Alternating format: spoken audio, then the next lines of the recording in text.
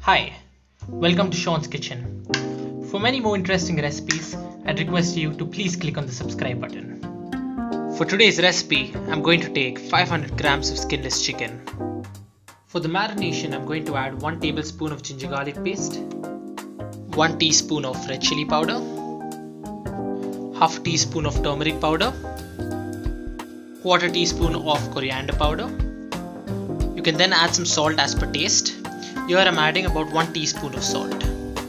I'm going to then lastly add about 3 tablespoons of curd. After adding the curd, I'm going to mix this well. After mixing this well, I'm now going to leave this for marination for about 30 minutes. While the chicken marinates, I'm going to take another pan and add 2 tablespoons of butter to it. After adding the butter, here I've added about 1 teaspoon of cumin seeds. I'm then going to add 2 cardamoms. Along with that, 3 cloves, 1 cinnamon stick, 6 garlic cloves, 2 green chilies, about half an onion, 5 medium sized tomatoes. Here I've diced the tomatoes. I'm then going to mix this well.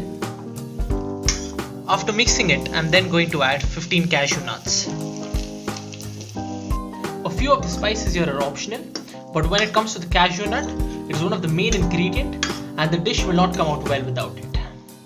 Once it starts boiling and you've mixed it well, you can now add 2 teaspoons of red chili powder.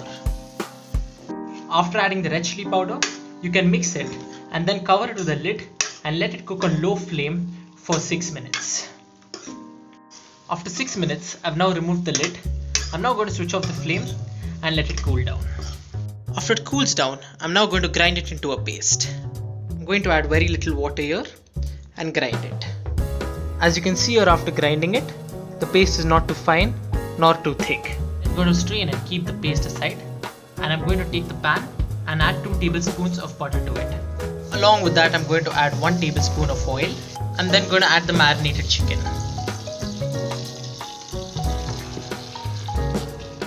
After adding the marinated chicken, I'm going to let it fry well on medium flame for 6 to 7 minutes. To let it cook while covering it with the lid. After frying it for 6 minutes, I'm now going to add the blended paste. After adding the gravy, I'm going to mix it with the chicken. After about a minute, you would have noticed that the chicken has coated well with the gravy. At this point of time, you can add very little water to it. And then mix it with the dish. I'm then going to add 1 teaspoon of garam masala powder to it. You can also then add some crushed fenugreek leaves which is optional. I'm now going to add about half a tablespoon of cream. After adding the cream, I'm going to mix it well with the dish. After letting it cook with the cream for about 1 minute, I'm now going to switch off the flame. And your dish is ready to be served. So if you did like this recipe, I'd request you to please click on the like button and do subscribe to my channel. Thank you.